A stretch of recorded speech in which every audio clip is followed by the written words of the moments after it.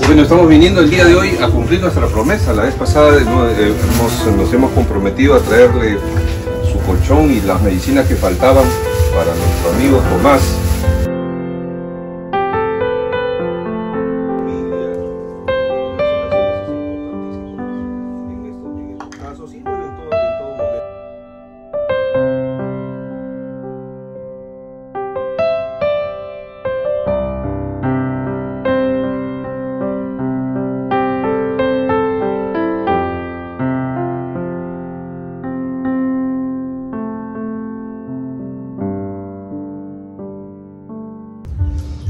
Bueno, coronel, muchas gracias por la promesa que le ha hecho a mi esposa, mamá Kim, de cariño.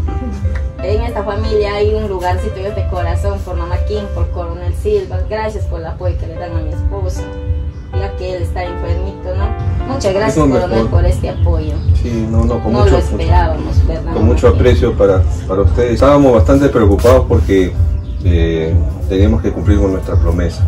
¿no? Tenemos muchos lugares que, que visitar, pero saben que ustedes le tenemos un aprecio y un cariño especial.